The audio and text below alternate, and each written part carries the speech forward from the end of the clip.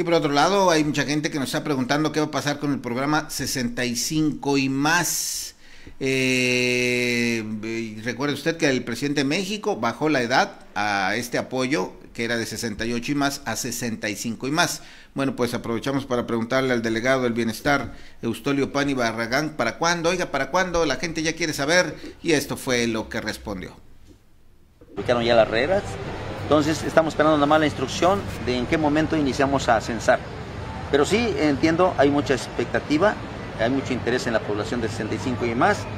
El presidente ya lo anunció, entonces estamos esperando.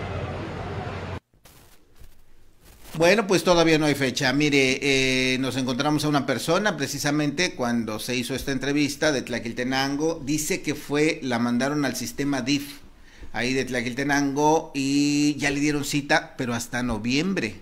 Hasta noviembre, digo, véngase, hasta, véngase en noviembre. ¿Cómo? Sí, en noviembre ahí ya le hacemos su trámite. A ver cuándo le pagan, no sabemos si será este mismo año. Ayer investigábamos, Julia, que este apoyo se, es para 2021, así es que se debería pagar este mismo año. Vamos a ver qué ocurre. Mucha gente eh, ya con ganas de obtener este beneficio, ¿no? Claro. Así es que bueno, a ver qué ocurre en el mes de noviembre.